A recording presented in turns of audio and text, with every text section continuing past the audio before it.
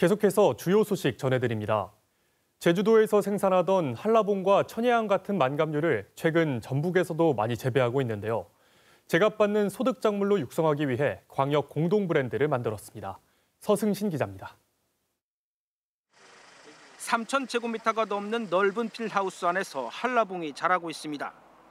농장주는 10여 년 전 국화 시설 하우스를 한라봉 농장으로 바꿨습니다.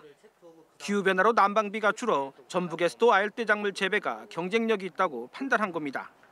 일조량과 토질이 좋아 당도는 더 높습니다. 오히려 가격대가 높기 때문에 그 난방 비용은 가격대에서 어느 정도 적정하게 맞춰주기 때문에 경쟁력은 충분하다고 봅니다. 전북에서 한라봉과 천혜향 등 망감류를 재배하는 농가는 50곳이 넘습니다. 하지만 대부분 소량 생산에 품질을 알릴 방법이 없다 보니 어려움이 많습니다. 전라북도에서 나온다는 것을 알지 못하셔서 저희가 판매하는데 어려움이 좀 있습니다. 전북에서 나오는 것의 맛을 아직 잘 모르시는 것 같습니다. 이 때문에 농협과 전북 지역 20여 농가가 만감류 광역 브랜드 예담채를 만들었습니다.